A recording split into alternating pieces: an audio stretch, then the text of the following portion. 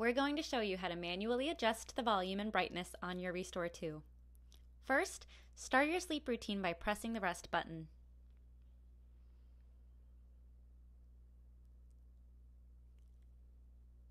To turn the volume up or down, tap the bottom left or right corner.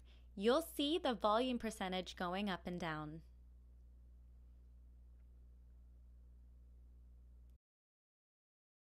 To adjust the brightness of the light, tap directly below or above the clock display. You'll see the brightness percentage adjusting up and down.